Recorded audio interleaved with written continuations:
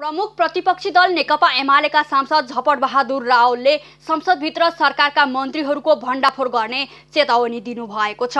प्रतिपक्षका सांसदले आफ्नो लेटर प्याडमा लिएर गएको मागपत्र केही मन्त्रीहरूले विपक्षको हो भनेर च्यातेको खबर आफूले पाएको उल्लेख गर्दै सांसद रावलले त्यस्तो मन्त्रीहरूको आफूले संसदमै भण्डाफोर गर्ने बताउनु भएको हो। उहाँले प्रतिपक्ष दलका सांसदले लेटर प्याड च्यात्ने यस्ता मन्त्रीहरूको हातमुख च्यात्न नपरोस् भनी सचेत समेत गराउनु भयो सोमबार प्रतिनिधि सभा बैठकमा किसानलाई रासायनिक मल र त्यसको भण्डारणको व्यवस्था गर्न पार्टी संसदीय दलको तर्फबाट प्रस्तुत जरुरी सार्वजनिक महत्त्वको प्रस्तावको समर्थन गर्दै सांसद रावलले किसान मलको अभावमा छटपट्टिरहेको बेला विदेश भ्रमणमा भएको भन्दै कृषि मन्त्री महेन्द्र राज यादवप्रति खेद समेत व्यक्त गर्नुभयो। कृषि मन्त्रीज्यू नेपालका किसानको जल्लो बल्लो समस्यासँग उहाँ बेखबर हुनुहुन्छ र उहाँ विदेश सयर गरिरहनु भएको छ भनेर त्यति बेला सुन्यौँ।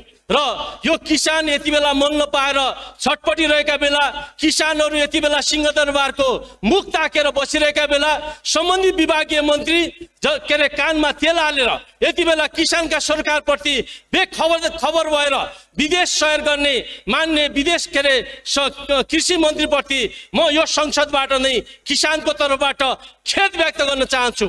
म सम्मान्य सभामुख महोदय यति बेला हामी मुठी रोपेर असोजको महिना मुरी रोप के अरे भित्र्याउने हामी किसानहरू।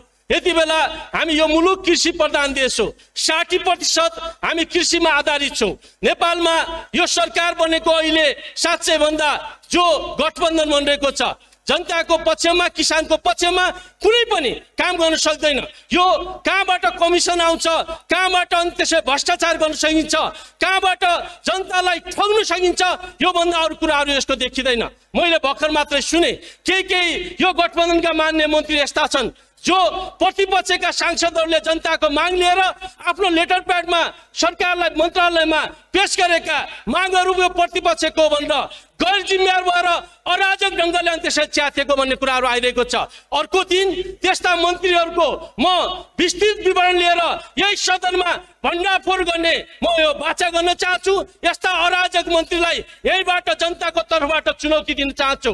खबरदार हाम्रा लेटर प्याड च्यात्ने मन्त्रीहरू जनताले तपाईँका हात तपाईँको मुख च्यात्नु नपरोस् भन्ने कुरा पनि यहीबाट म खबरदारी गर्न चाहन्छु। सांसद रावलले एक वर्ष बितिसक्दा पनि कुम्भकर्ण निन्द्रमा रहेको भन्दै सरकारप्रति आक्रोश समेत व्यक्त गर्नुभयो।